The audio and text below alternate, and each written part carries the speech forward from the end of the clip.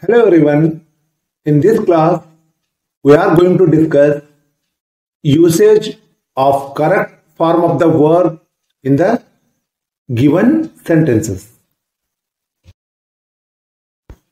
First one, daily Lakshmi dash B plus go in a car to reach her office in time. ನೋಡಿ, ಇಲ್ಲೊಂದು sentence ಕೊಟ್ಟಿದ್ದಾರೆ. ಮತ್ತೆ ನಿಮಗೆ ಬ್ರೆಕೆಟ್ದಲ್ಲಿ B plus ಗೋ ಅಂತ ಕೊಟ್ಟಿದ್ದಾರೆ ನೋಡಿ.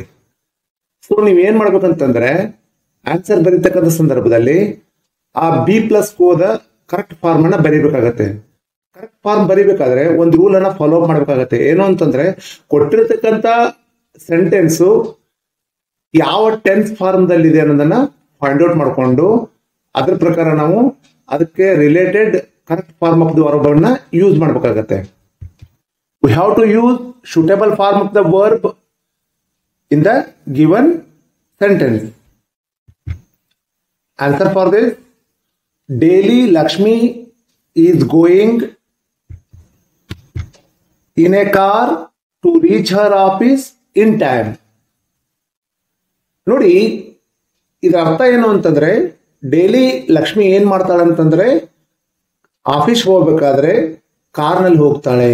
ಯಾಕಂದ್ರೆ ಕರೆಕ್ಟ್ ಟೈಮ್ ಆಫೀಸ್ಗೆ ಹೋಗಿ ಮುಟ್ಟಬೇಕಂದ್ರೆ ಯಾಕೆ? ಕಾರ್ನಲ್ಲೇ ಪಯಣಿಸ್ತಾಳೆ ಅಂತ ಹೇಳ್ತಾರೆ ಸೊ ಇಲ್ಲಿ ಈಸ್ ಗೋಯಿಂಗ್ ಅಂತ ಆನ್ಸರ್ ಬರ್ತಿದ್ದಾರೆ ನೋಡಿ, ಅಲ್ಲಿ ಮೇಲ್ ಆಪ್ಷನ್ ಏನು ಕೊಟ್ಟಿದ್ದ? ಬಿ ಬಿ ಬದಲು ಇಲ್ಲಿ ಏನು ಬ- ಬಳಕೆ ಮಾಡಿದ್ದಾರೆ? ಈಸ್ ಅಂತ ಬಳಕೆ ಮಾಡಿದ್ದಾರೆ. ನಿಮಗೆ ಬಿ ಬದಲಿ ಯಾವ ಬಳಕೆ ಮಾಡ್ಬೋದು ಅಂತಂದ್ರೆ ಈಸ್ ಬಳಕೆ ಮಾಡ್ಬೋದು ವಾಸ್ ಬಳಕೆ ಮಾಡ್ಬೋದು.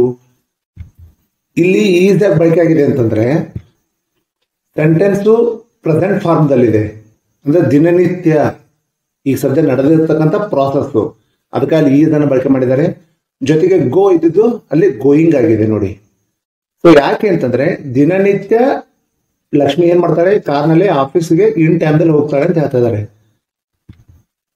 It mean we have to use present continuous form to complete the sentence present continuous form means it explains ongoing events. Second one encyclopedia dash give us basic information on every subject. Here also we will use suitable form of the verb answer for this. Encyclopedia gives us basic information on every subject. Here, gives is the right answer. ಇಲ್ಲಿ gives ಸರಿಯಾದ ಉತ್ತರ ಆಗುತ್ತೆ ಏಕೆಂತಂದ್ರೆ according to our English grammar rule he she it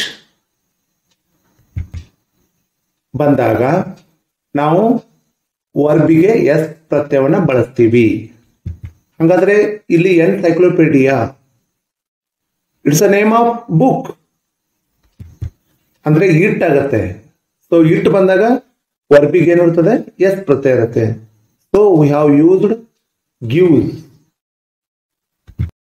third one Rupa looked up from the newspaper and in bracket say excitedly Pandit in bracket B plus perform bracket complete today at the Ranga Mandira.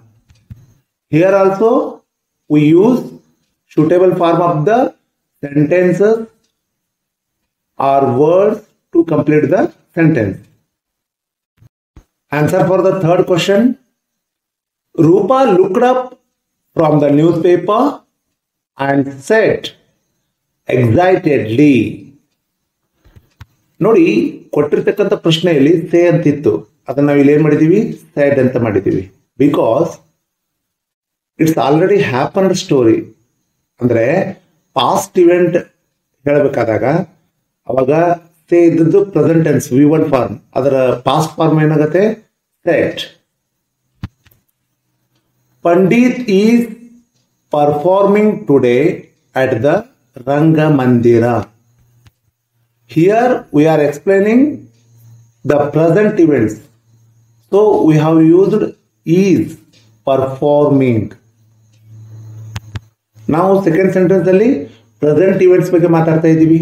ಅಂದ್ರೆ Pandit G ಇವತ್ತು perform ಮಾಡ್ತಾ ಇದ್ದಾರೆ, ರಂಗಮಂದಿರದಲ್ಲಿ ಅಂತ ಹೇಳ್ತಾ ಇದ್ದೀವಿ. ಇವತ್ತು ಮಾಡ್ತಾ ಇದ್ದೀವಿ ಅಂದ್ರೆ ಪ್ರೆಸೆಂಟ್ ಫಾರ್ಮ್ ಬಗ್ಗೆ ಹೇಳ್ತಾ ಇದ್ದೀವಿ. ಅದಕ್ಕೆ ನಾವು ಅಲ್ಲಿ ಏನು ಬಳಕೆ ಮಾಡಿದ್ದೀವಿ? ಈಸ್ ಅನ್ನ ಬಳಕೆ ಮಾಡಿದ್ದೀವಿ. ಮಾಡುತ್ತಿದ್ದಾರೆ performing so totally is performing and the sentence is in present continuous form. Fourth one, when I dash in bracket arrive at the railway station yesterday, Sunita dash in bracket B plus wait for me.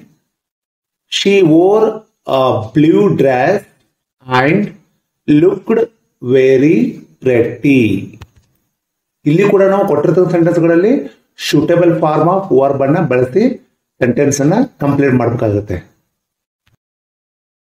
Answer for the fourth question when I arrived at the railway station yesterday Sunita was waiting for me ನೋಡಿ, ಇದರ ಅರ್ಥ ಕನ್ನಡದಲ್ಲಿ ಏನು ಅಂತಂದ್ರೆ ನಾನು ನಿನ್ನೆ railway ಸ್ಟೇಷನ್ಗೆ ಬಂದಾಗ ಅಲ್ಲಿ ಸುನೀತಾ ನನಗಾಗಿ ಕಾಯುತ್ತಿದ್ದಳು. ಅಂದ್ರೆ ಓಲ್ ಕನ್ವರ್ಸೇಷನ್ ಅಬ್ಸರ್ವ್ ಮಾಡಿ ಓಲ್ ಕನ್ವರ್ಸೇಷನ್ ಅಬ್ಸರ್ವ್ ಮಾಡಿದ ಒಂದಂತೂ ಗೊತ್ತಾಗತ್ತೆ. ಏನು ಅಂತಂದ್ರೆ conversation explaining about past events ಅಂದ್ರೆ ಭೂತಕಾಲದ ಇವೆಂಟ್ಸ್ ಬಗ್ಗೆ ಹೇಳ್ತಾ ಇದೆ. ನಿಮ್ಗೆ ಪ್ರೂಫ್ ಅಲ್ಲಿ ಎಸ್ಟರ್ಡೆ ಅಂತಿದೆ ನೋಡಿ. ಸೊ ಅಲ್ಲಿ ಅರೈವ್ ಅಂತ ಕೊಟ್ಟಿದ್ರಲ್ವಾ? ಹಂಗಾದ್ರೆ ಪಾಸ್ಟ್ ಇವೆಂಟ್ಸ್ ಬಗ್ಗೆ ಮಾಡ್ತಾ ಇದ್ದ ಸಂದರ್ಭದಲ್ಲಿ ಅರೈವ್ ಇದ್ದದ್ದು ಏನಾಗುತ್ತೆ? ಅರೈವ್ಡ್ ಅಂತ ಆಗುತ್ತೆ next Sunita was waiting for me is waiting ಬರಲ್ಲ ವಾಸ್ ವೇಟಿಂಗ್ ಬರುತ್ತೆ. ಯಾಕೆ ಅಂತಂದ್ರೆ we are explaining about past events so ಹಾಗಾದ್ರೆ ಪಾಸ್ಟ್ ಕಂಟಿನ್ಯೂಸ್ ಫಾರ್ಮ್ ಅನ್ನ ಬರಿಬೇಕಾಗತ್ತೆ. ಸುನೀತಾ ನನಗಾಗಿ ಕಾಯುತ್ತಿದ್ದಳು. ಯಾವಾಗ? ಎಸ್ಟರ್ಡೇ ಅಂದ್ರೆ it's already happened So we have to write answer in the past continuous form. Question number 5. Rajanna is a good teacher. He dash in bracket complete his physical education training in SLN college. Now he dash B plus work in a private high school in his hometown.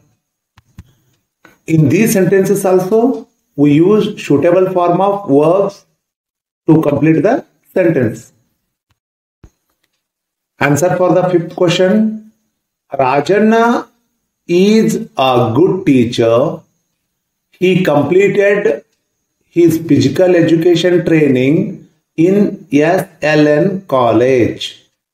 ನೋಡಿ ಅಲ್ಲಿ complete ಅದು ಕೊಟ್ಟಿದ್ರು ಅದರ correct form ಏನ ಬಳಸಿದ್ರು ಇಲ್ಲಿ completed so ಯಾಕೆ ಅಂತಂದ್ರೆ ಅಲ್ಲಿ ಏನಿದೆ ನೋಡಿ? Completed his physical education training in S L N college ಅಂದ್ರೆ ಆ ಟ್ರೈನಿಂಗ್ ಅನ್ನ ಆಲ್ರೆಡಿ ಮುಗಿಸಿದ್ದಾರೆ ಅವರು. ಸೊ ಆಲ್ರೆಡಿ ಹ್ಯಾಪನ್ ಸ್ಟೋರಿ ಅಂದ್ರೆ ನಾವು ಕೊಟ್ಟಿರ್ತಕ್ಕಂಥ ವರ್ಬ್ದ ವಿ ಟು ಫಾರ್ಮ್ ಅನ್ನ ಬರಿಬೇಕಾಗತ್ತೆ. ಅವಾಗ ಏನಾಗುತ್ತೆ? ಕಂಪ್ಲೀಟ್ ಇದ್ದಿದ್ದು ಕಂಪ್ಲೀಟೆಡ್ ಅಂತ ಬಳಕೆ ಮಾಡಬೇಕಾಗತ್ತೆ. Next ನಾವು he is working in a private high school in his home town ನಾವು ಅಂತ ಬಂದಿದೆ ನೋಡಿ ನಾವು ಅಂತಂದಾಗ it explaining about present events is working in a private high school in his home town so this sentence is in present continuous four